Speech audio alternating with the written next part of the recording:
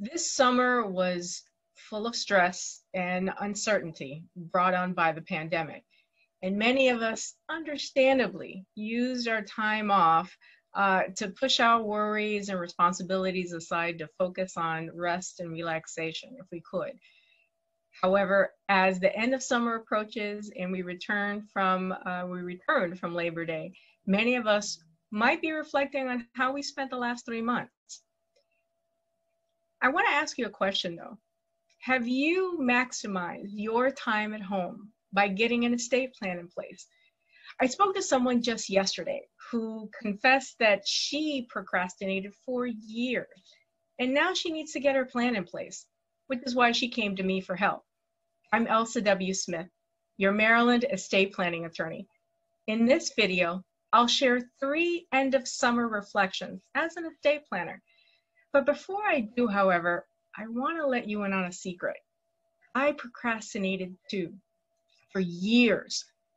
Getting married and building a business, though, really prompted me to get things in place to protect my health and wealth. Now, on to the three reflections. Number one, how can you better protect your loved ones?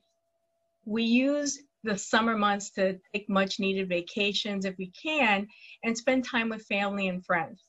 However, many of us forget that creating an estate plan and leaving behind a legacy for loved ones is just as important as providing for them while they are still living.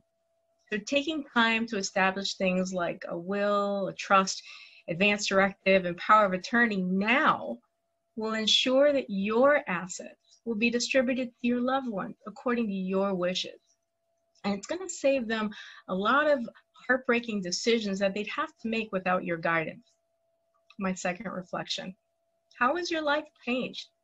Estate plans should evolve uh, in the event of the what I call the five Ds death, disability, divorce, distance, and descendants. Health and career changes, uh, acquisition of new properties are also factors that come into play when updating an existing plan. Now, even if none of these changes have taken place, you can still find that your values and your preferences shift over time. So you should review and update your plan periodically to make sure that it reflects with your current circumstances.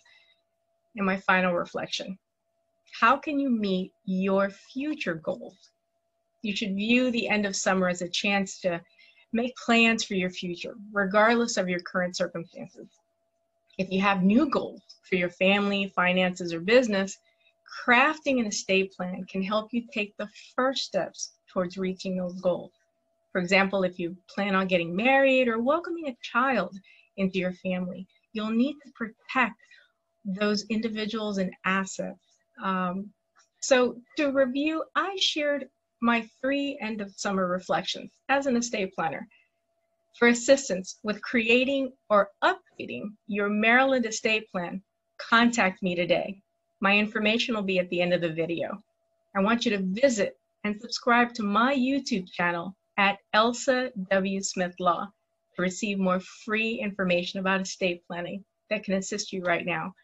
Again, I'm Elsa W. Smith, your Maryland estate planning attorney. Thanks for watching. I'll see you in my next video.